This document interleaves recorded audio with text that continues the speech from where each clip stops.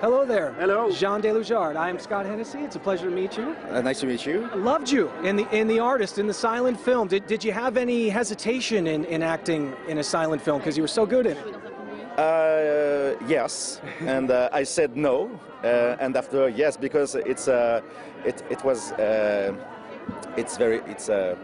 I said to Michel, what kind of silent movie would you like? If you want uh, Chaplin or Keaton, it's impossible because there was geniuses Yes. and not me. And he said, no, there, there are another. Um, there was an, uh, there, there. Sorry, there are okay. another uh, kind of silent movie like uh, Murnau's movies or King Vidor's movies, the, the love stories, and I understood uh, what Michel wanted, and uh, it, it was amazing. Yeah, did it turn out even better than you thought? I mean, it's such a wonderful movie. C'est devenu quelque chose d'encore mieux que ce que tu pensais Uh, yes, yes, because I, I, I saw the um, the film. I watched the, the film the, for the for the first time in Cannes, and uh, I uh, I love the le comment tu dis le balance the balance of the movie the balance between the the, the, the music the the costume the his choice of Michel.